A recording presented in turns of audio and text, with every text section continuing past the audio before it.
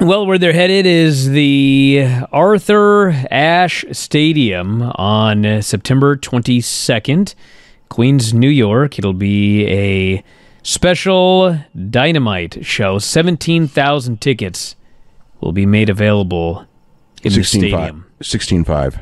Uh, but it, it could be it could be up to 19. 16 5 is what they're counting on. 19 is best case scenario um, if it goes like if it goes fast.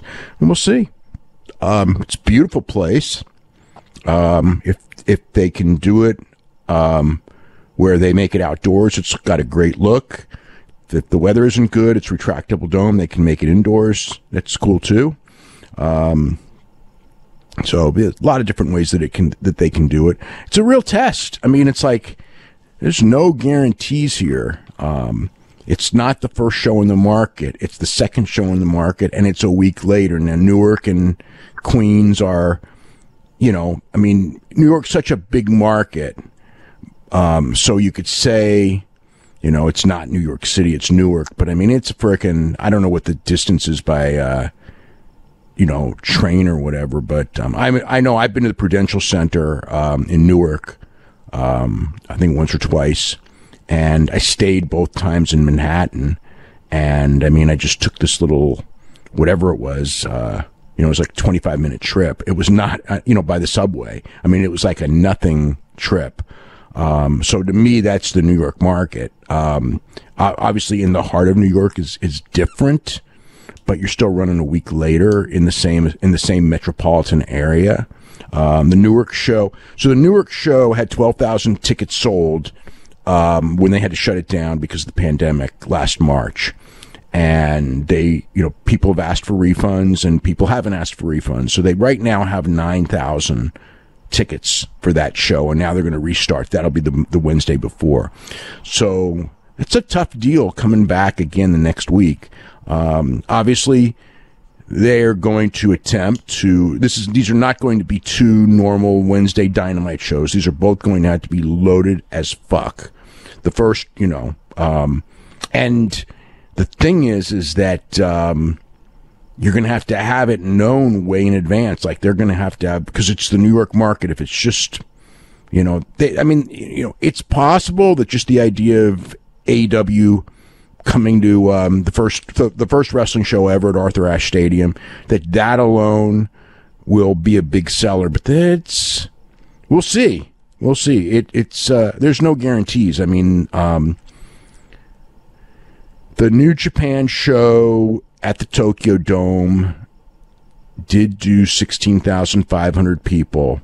Um, when people thought that uh, you know Omega and Young Bucks and Cody and all them would be on the show, um, and they also had a lot of you know a, a not a lot, but they had you know not WWE level, but they had they had scalpers, you know, or the this the second. I mean, a lot of this, like as far as the first day, will be interesting to see if the secondary market you know uh, buyers go because if they do, if they buy like they would buy for say what Survivor Series when it's in Brooklyn, um, you know that will probably be um, seven thousand of those 14, 15,000 seats will probably be bought secondary market first day. That's how it works in the New York market.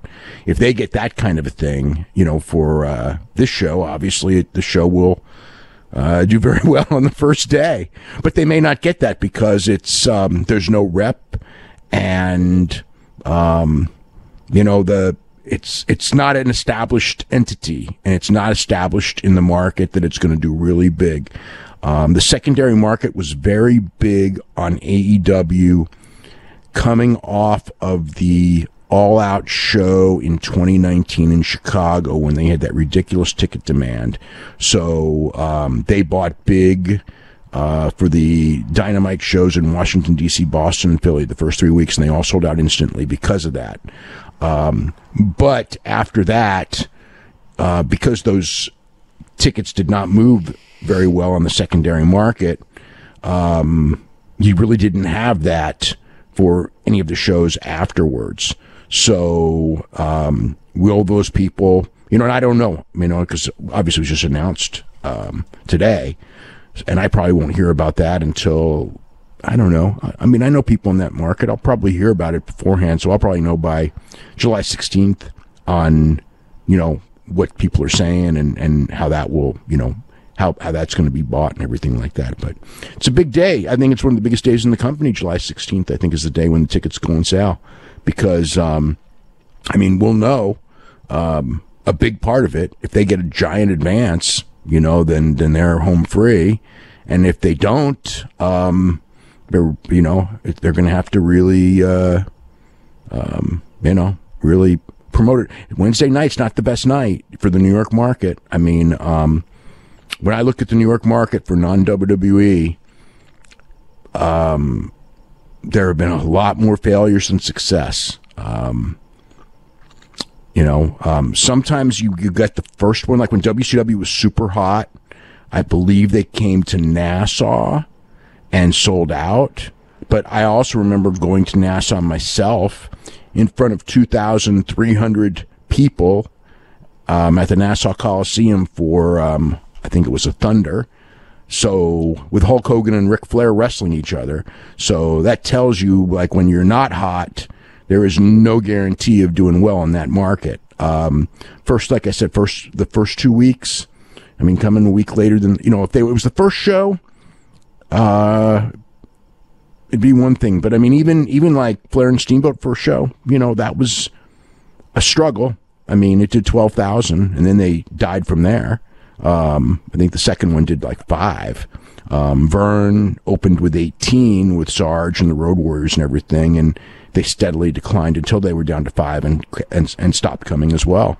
So New York has never been a you know sometimes you can get that big first one but it has never sustained for anyone but but Vince. So that's the real that's the real challenge ever. I mean, and that's like we're talking Verne at his best. We're talking that Crockett at his best.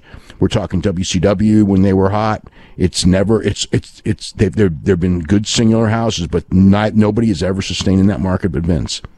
Hey, if you're a big fan of Wrestling Observer Radio. We got 12,000 episodes of all of our podcasts up at our website, WrestlingObserver.com. If you sign up today, you get access to every single one of them. The 12 to 18 new shows that we do every single week. You can podcast them, listen to them on the road, at work, working out, in the shower, wherever you listen to your podcasts. And also full access to the Wrestling Observer newsletter and archives. So if you love what you hear, head to WrestlingObserver.com. 12,000 audio shows at your fingertips.